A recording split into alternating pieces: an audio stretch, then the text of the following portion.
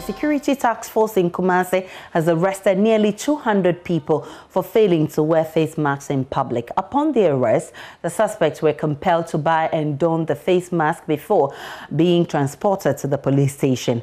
Ashanti Regional Deputy Police Commander DCOP David Agyeman Agyeman tells Joy News the recalcitrant suspects were granted bail after their statements were taken. Ohemeng Tawiah has more in the following report.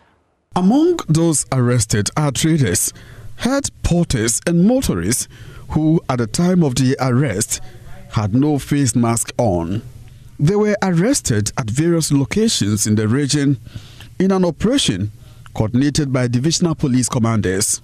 Some of the suspects engaged in a banter with members of the task force after the arrest, claiming they had their face mask in their pockets. They see the action of the police as an attack orchestrated to inconvenience them.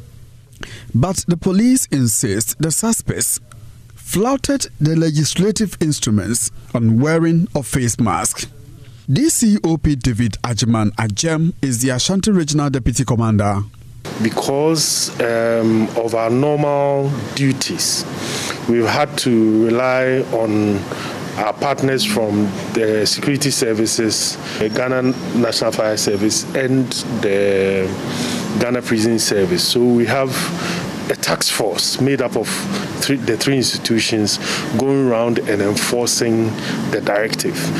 As at this morning, we had arrested a total of almost 200 persons, that's about 198 or so.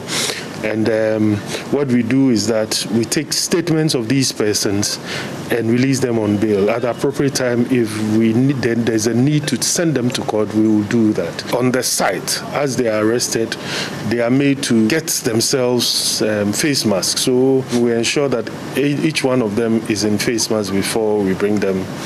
The police want the public to accept the exercise in good faith to help protect all against COVID 19.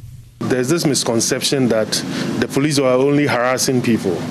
But of course, uh, we all know uh, what um, COVID is doing to all of us as a nation. And so, my simple advice is that this is a war between Ghana and COVID. So, the police and the public are on one side against the disease, and we should ensure that we fight it as best as we can in our own ways.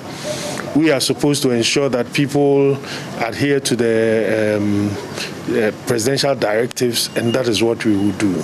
There has been an upsurge in COVID 19 cases in the region. Public compliance with safety protocols remains critical to halt the spread of the disease. From Kumasi, for Joy News, Ohemeng Tawiah reporting.